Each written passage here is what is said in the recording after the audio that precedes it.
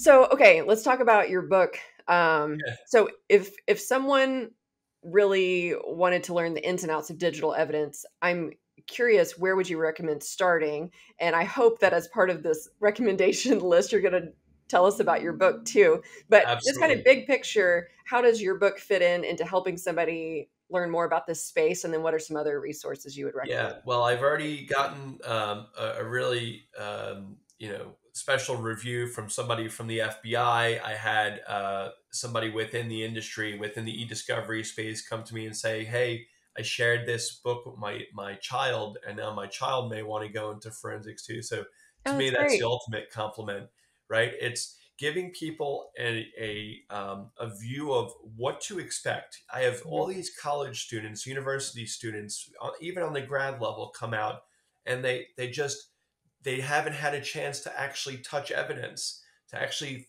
understand like what do I do on day one, like how do I go about this? Because you can study about this in school and you can learn all the theories and Locard's exchange theory and MD5 hashing and metadata but I tell you what you need to know because when I started in this field, uh, I thought I was getting involved in forensics, and I, I was told, you know, we're an e-discovery company. Are you okay with that? And I said, uh, sure, yeah, that's that's fine. Day one, you know, everything that I learned in school was kind of out the door. I mean, I learned about crime scenes and everything else. So, what I do here is give you an understanding of what e discovery is, what forensics is, what options you need to think about from a from a forensic examiner's perspective, from a lawyer's perspective, from a legal professional's perspective, from a PI's perspective, anybody who picks up this book is going to understand what they need to know and what they need to ask and who they need to speak to. Um, Yeah, and that's great. why I wrote this because that was a gap in the industry for a long time. The people that that I learned from were the people that basically formed the the discipline of digital evidence, digital forensics. So I took it a step further and said, "Hey, I've been working corporate, you know, uh, with corporate uh, companies for 20 plus years and law firms. Let me teach the, the the the next generation a little bit about the overall picture chain of custody, documentation, how that goes into both of the law enforcement, public world, private world. So my book is out there. It's brand new. Um, you know, it's getting a lot of traction with both the, the law firm side of it. Um, where else can you find me? I, I, I write for PI Magazine. I write on the cutting edge uh, topics in my cyber sleuthing column. I approached uh, Jim and Nicole a couple years ago and said, I have an idea. I want to write about forensics, digital forensics topics on, on things that PIs need to know. And they said, that's a great idea. So every issue I write on those topics, you know, that are really important that I keep on top with. I just wrote a thing on uh, cryptocurrency.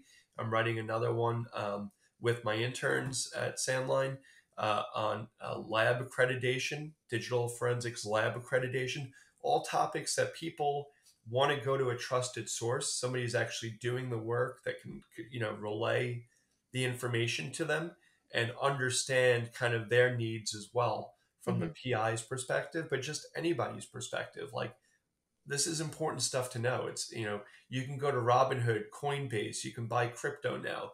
What do you need to know about crypto? Who do you call, right? I mean, you know, th- these are all questions.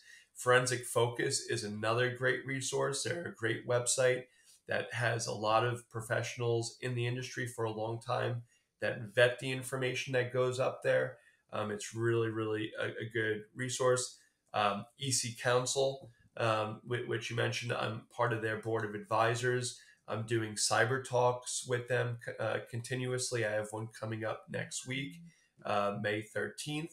And, you know, that whole um, organization vets their stuff. Even when I write stuff, they, they read through it two or three times.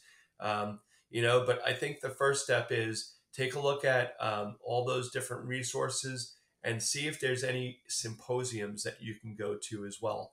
I just did one with Dr. Uh, Henry Lee, uh, people from Cellebrite, uh, uh, Paraben, um, uh, Cloud9 was there, um, Forensic Email Collector. Uh, I have all these kind of relationships from over the years that we all came together and shared our knowledge for a day. And I think the the charge on that was twenty five dollars for students and one hundred and twenty five dollars for adults, and we gave a whole day training. I mean, that's that's amazing to hear from people that are on the cutting edge of of forensics and really we want to encourage the next generation. So we put on these events, and I personally sponsored that with uh, Henry Lee and and myself, and and uh, put that whole program together with him. So yeah, really that's awesome. Opportunity. Well, it's so great to meet professionals like yourself that are willing to share from experience and provide like practical hands-on. This is how you do it. Uh, that's really refreshing. And so I just really appreciate your time Rob, today, taking time to talk with me. And if any of our les- listeners would like to connect with you or learn more about your book, what are the best ways to do so? Sure. So you can find me on LinkedIn. I think my profile name is Robert B. Fried, F R I E D. Um, you can look at my book's website, forensicsbook.com. I still don't understand how I got that, that uh, website address. Um, and you can also email me at uh, rfried, R-F-R-I-E-D, at sandlineglobal.com. S A N D L I N E G L O B A L dot com, and also rob at robfried.com if you just want to reach out to me uh, in general and ask me questions. Happy to always be of help. Well, great. Well, Rob, it's been a pleasure, and we'll make sure to link to your contact information and your book website in the show notes. Thank you so much. Excellent. Thank you so much. Great to be here today.